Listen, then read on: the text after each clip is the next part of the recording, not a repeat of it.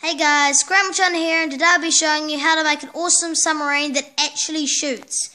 Now, that bit involves this. As you can see it has a little stud and it does shoot when you push down that. So, now this is a kind of a mini build, as in it's a large mini build. So it's not small, but it's not massive. Like it's massive compared to a small mini build. Anyway, what you're going to need is a smooth piece, smooth piece, yes, that's definitely what I call it. Um, one, one or two the same coloured studs. Um, you're going to need a two by one brick, three bluish clear, three transparent blue um, studs, one flat one by two bricks one of these sort of cylinders, one clear stud, one sloped one by three brick, one steering wheel piece, a grooved slate, a modified one by two brick, modified one by one brick, this shooting piece plus red stud, um, which we will find in some Star Wars and Ninjago sets. This one by four brick, a three by one sloped brick, a 4 by 1 brick, another 4 by 1 brick,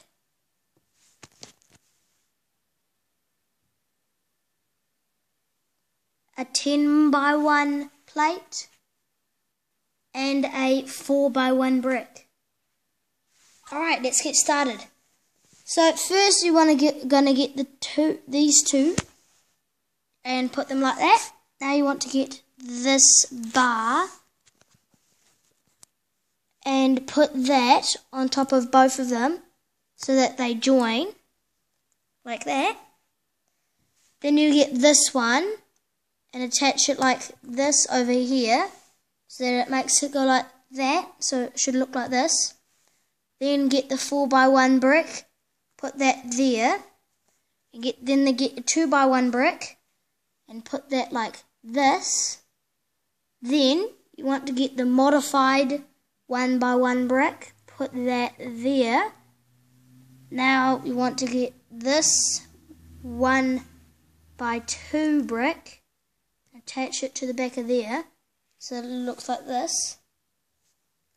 Now get this piece and place it on the back of the modified brick. So, so far it looks like this. This is your main base of the submarine, so you can do pretty much, if you want to, you could make whatever you want with that. Now attach the um, three transparent studs, and you put that there, so it's like this, it's like a little window. Now, we want to get this slated piece, put that at the front. Now, you get the gun and put that here. So it looks like this. Now what you want to do is get this round cylinder, put that there, so it's like that. Now get this piece and put that in between here so that it looks like the submarine's sort of like steering system. So it's like that. Alright, now you want to get this piece and put that on top of there so it looks like that. So it makes it look smooth and nice. Now what we want to do is get this piece and put one of these studs on it so that it looks like this.